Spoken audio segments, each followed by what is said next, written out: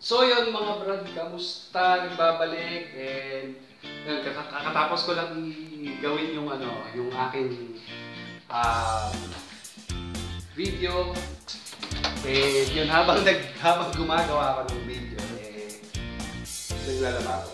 Nilalaba ko yung bed sheets ko, tapos siguro nililisin ko na rin yung kwarto ko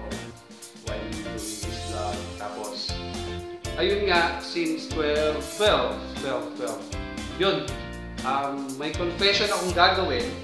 Actually, katangahan to. Papansin nyo dun sa third video ko, yung pumunta ako sa mall, G-Pals. Eh, binidyo ko yung tarp. Okay? Tapos, nagtagal ako dun sa contact number. Ang idea ko that time is i-save yung contact number nila through that video. Yung screenshot ko. Kaso, ang katangahan na naganap, nabura ko yung clip. Sa kagustuhan ko mag-free up ng space para sa aking mga susunod na vlog, dinilit ko yung mga clips lahat. No? Kaya yun. Kaya ang ano ngayon, ang plano ngayon is before pumasok, pupunta ng Tipanis. Okay? Tignan natin kung bukas na. Kung hindi pa rin, kunin natin yung contact number. Alright? Okay. So, babalik ako kapag ready na. Magluluto pa ako, magluluto pa ako, magsasampay pa ako ng bed sheets, maglilinis pa ang kwarto. So, hindi ko sure kung maabutin, pero yun.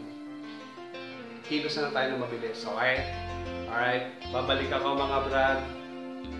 Magta-transform tayo mamaya, okay?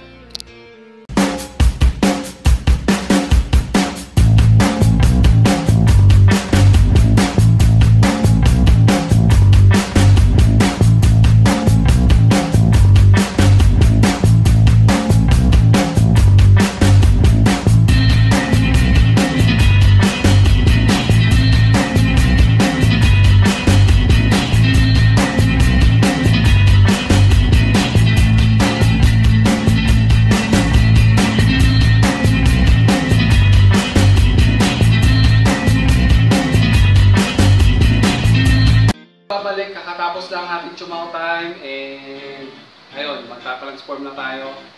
Masa ba? Ayan, kanya naman. 120 na, so medyo iibahin ko lang ang aking pagta-transform today. Lalagyan ko ng konting rock. Ito na.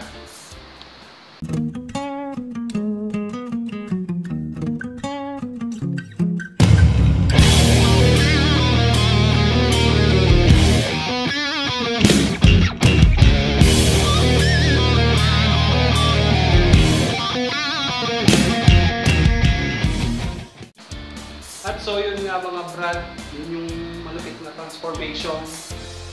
And anong gagawin? So yun, magliligpit muna tayo ng mga dadalhin natin sa opisina, okay?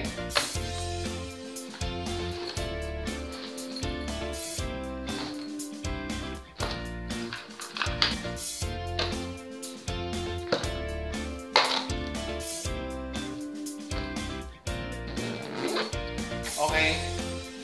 Ayun, I think we're good. So, babalik tayo kapag nasa Dipals na, okay? Kita kits! So, yun mga brad, nagbabalik tayo. Eh, dito na ako sa Dipals. Punta na natin yung Poplar. Because I'm happy. Clap along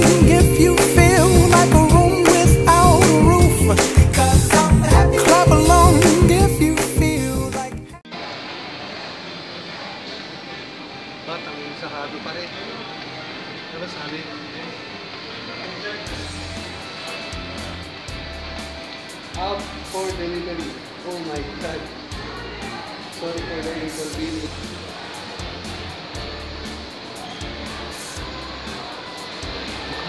Ang hirap ng number.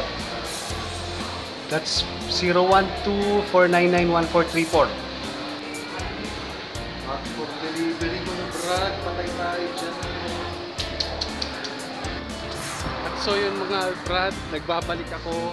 Tinawagan ko yung contacts doon sa ano sa cobbler yung nandun sa tarpaulin and sabi niya during this time daw eh nagde-deliver sila nandun daw yung cobbler mga 10.30 to 12.30 p.m. So, wrong timing, no? Wrong timing tayo. So, ayun. Another day of failure, mga brad. Pero, don't worry. Tomorrow is another day.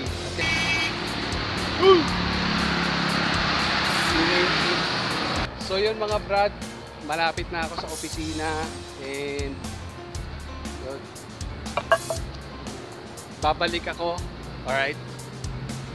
Patayan na dito sa elevator. So, yun.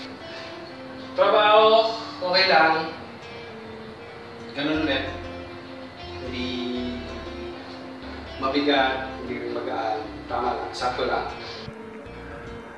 At so yun nga mga brad, ano na, alas 4 na. Yan ngayon pala ako gagawa ng outro ng aking video. Ayun. Kung nagustuhan mo tong video na to, just hit like, comments, and suggestions ka to improve my vlog. Sulat mo lang sa baba. Okay? Tapos, subscribe ka na rin kung gusto mo, okay? Ayun lang. And matutulog na ka, Brad. Good night. Ingat mga Brad. This is Don Bryce signing out.